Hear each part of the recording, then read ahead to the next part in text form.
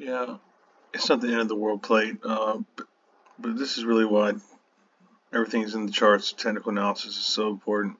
Just taking a look at Luna here. Well, let's just start with, I can show you what I found and how I found it and my ways of going about this. You'll see how my time frames are staggered. So always horizontals first. Nothing on the yearly, nothing on the six month. And here you see this three month quarterly level. Perfectly respected there, okay? Uh, going down time frame right here. We can take a look. And we really want to hone this in perfectly. What's that? 0.3618. Okay.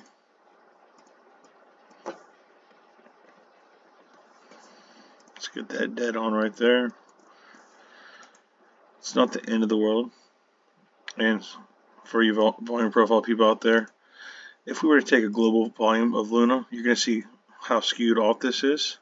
Okay, you're going to see that this is showing it's not accurate, okay? Because this massive drop here, this is going to be the value area low.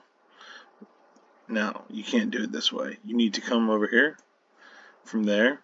And now this is the correct pull. You can get it, you can hone it in a little better if you want to go on lower time frames. But you can see that as soon as it back tested this for two weeks in a row, we shot up. And we are at a bit of resistance right here. Um, but I do think that we will see a dollar 90ish or so um, bulls may push this to two dollars, and then uh, and if we were to clear this, then you know, um, then there's higher. Um, so yeah, unfortunately, this this pretty solid bit of confluence right here did stop it dead in its tracks. I mean, just perfectly to the to the exact. I mean, doesn't get more perfect than that. So. Um, yeah, it's not the end of the world. Let's look at, take a look at PRQ. Um, I think I was looking at on the KuCoin chart. Yeah, so I will agree with Frit. That there is this is a nice. Uh, after um, I'd like to see a little bit more. You know, content, I guess. Um, I guess it's it's it's proved it's it's it's worth after backtesting this point of control. Um, but definitely good risk or reward here. As you can see, uh, we'd be expecting this value area high, and we can set our stop loss. Um, if you want to be really like, I guess, conservative, um, I'm just gonna tell you what I would do. Below this wick right here, zoom in a little bit. I'm going to give myself enough room to cover this wick and bring it to where we can see a little bit of support here. So we still have a nice 5 to 1 risk of reward trade. Um, but just covering that wick is just good enough. You know, you don't want to have your stop loss at the point of control right here because um, uh, we can still come back through and retest it, you know. So just a thing to think about. And also for PRQ, um, we could have, this bottom was actually very easy to uh, spot. Um, you can pause the video. Actually, I'll take a screenshot of this right quick and show you.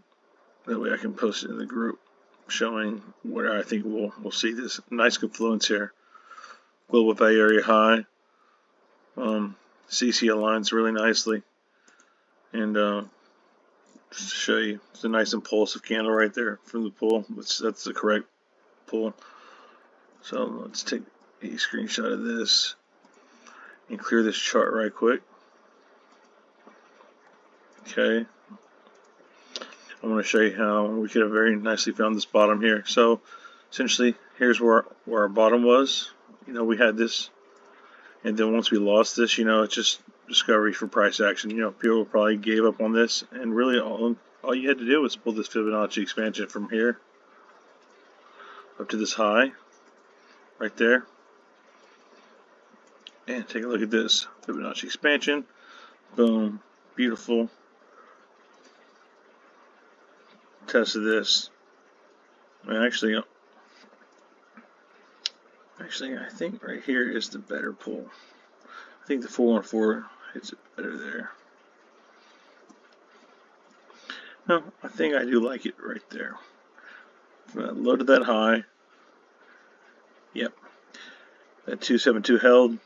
Now, the one the one to one one three three right here um, had a little bit of holding, but then we fell through ultimately with these two successful back tests and this green candle up. Uh, been a good, nice long entry there. You know. But yeah, that's that. Um, what else? Uh, I could just pick a coin at random, I guess, maybe. Let's, let's see if we have anything here in the group. Someone says anything else. If I, just the first coin I see. Link, PRQ, H, and T. Let's, let's take a look at helium. Helium. So I have it in here. Here see right here. Actually, I saw GRT earlier. Let's take a look at that. Oh, I already have a chart for it. Okay.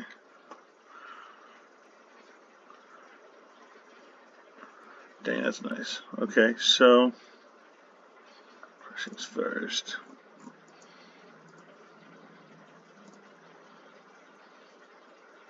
Nice, went right through that. No monthlies. No weekly levels coming up.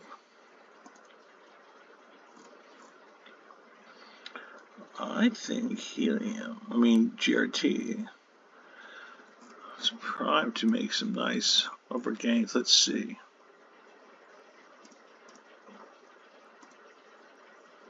Oops, sorry.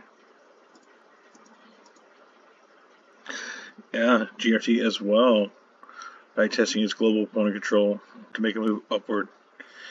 Yeah, and that is multiple weeks there on its way up. Is that a... Those are not. See this bit of volume right here? It's one thing we have to take a look at. Here, there. Not, not extend this right quick.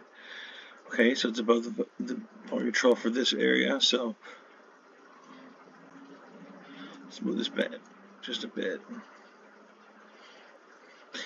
Yeah, it's nice.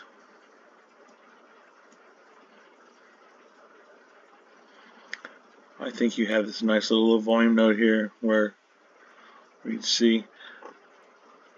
Let's take a fib pull from this impulsive candle right quick.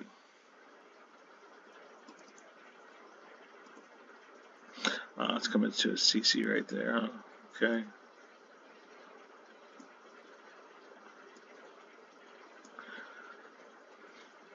Yeah, I think, let's take a look at the 786.